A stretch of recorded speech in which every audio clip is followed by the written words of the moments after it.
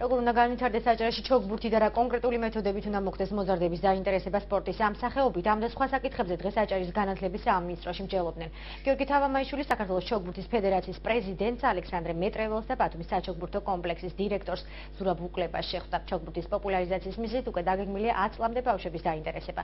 სწორედ ამ მიზნით დღესვე ბათუმის საჩოგბურთო კომპლექსსა და ბათუმის მე-17 და მე-18 საჯარო სკოლებს შორის მემორანდუმი გაფორმდა, რომელიც დაწყებით კლასებში უფასო სწავლებას ითვალისწინებს. მოგვიანებით საქართველოს ჩოგბურთის ფედერაციის პრეზიდენტი კომპლექსის მშენებლობის მიმდინარეობასაც გაეცნო.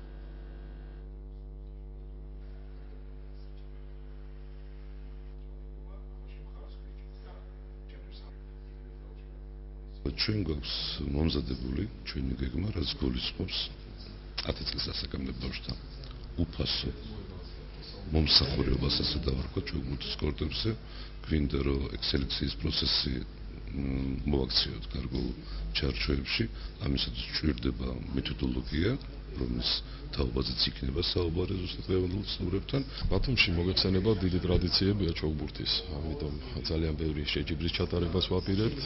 გვინდა რომ გაგრძელდეს Ladies Open-ის ასევე ბათუმში ჩატარება, როგორც იყო ყოველ წელს. აი, პირველ რიგში ძალიან გაგვეხარდა, რომ ახალი ბაზა იხსნება და მაგის დათვალიერებას გეკმავთ დღეს.